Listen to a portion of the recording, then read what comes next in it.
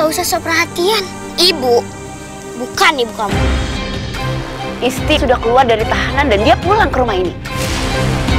Tolong, tolong, ada tante jahat yang menyangkain ibu saya.